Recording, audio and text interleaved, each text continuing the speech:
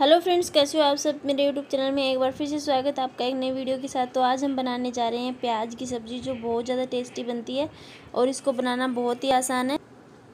तो ये देखिए, मैंने यहाँ पे ये सूखी सब्ज़ी बनाएँगे प्याज की हम, जो बहुत ज़्यादा टेस्टी बनती है, सबको बहुत ज़्यादा पसंद आती है और ये इसको बनाना भी बहुत ही ज़्यादा आसान है। तो चलिए स्टार्ट करते हैं। मैंने यहाँ पे कढ़ाई ली है। कढ़ाई के अंदर सबसे पहले डालेंगे ऑयल मैंने यहाँ पे लगभग एक बड़ा चम्मच सरसों का ऑयल डाला है।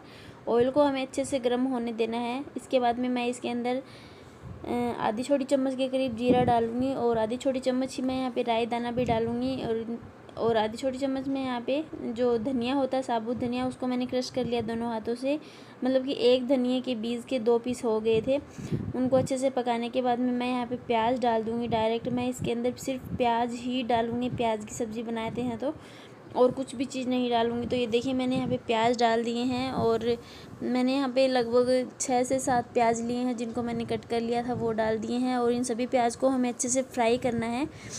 प्याज की सब्ज़ी बहुत ज़्यादा टेस्टी होती है और इमरजेंसी वाली भी होती है। जब हमारे घर में कोई सब्ज़ी ना हो तो हम फटाफट ये सब्ज़ी बना सकते हैं और सबको खिला सकते हैं। सबको बहुत ज़्यादा पसंद आएगी बच्चों को खास करके बहुत ज़्यादा पसंद होती है प्याज की सब्ज़ी। हम्म, तो ये देखिए मैंने यहाँ पे प्याज को अच्छे से मिक्स कर देना है अच्छे से और इसको पका लेना है थोड़ा सा इसके अंदर हम पानी नहीं डालेंगे बिना पैन पानी के ही प्याज की सब्ज़ी बन जाती है।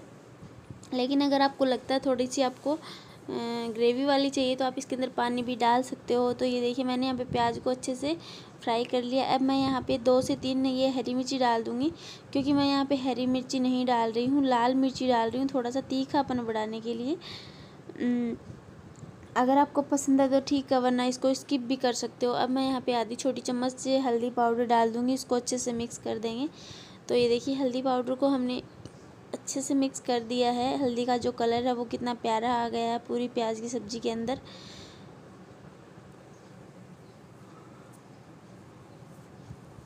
और गैस का फ्लेम हम यहाँ पे कम ही रखेंगे। यहाँ पे मैंने नमक डाल दिया अपने टेस्ट के हिसाब से। जितना आपको पसंद है उतना नमक डाल देंगे और इसको भी अच्छे से मिक्स कर देंगे।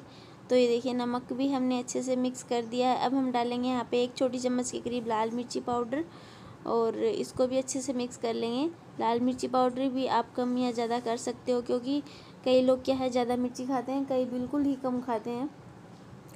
तो उनके हिसाब से आप अपने टेस्ट के हिसाब से कर सकते हो। और ये मैंने यहाँ पे एक छोटी चम्मच धनिया पाउडर डाल दिया है। बस हमने सभी मसाले डाल दिए हैं और इसको अच्छे से मिक्स कर देंगे। इसमें लहसुन की ज़्यादा मतलब है ही नहीं आवश्यकता, क्योंकि प्याज है वो लहसुन का ही काम करेगा, क्योंकि हम अकेले प्याज की सब्ज़ी बना रहे हैं तो अच्छा सा फ्लेवर आ जाएगा इससे ही।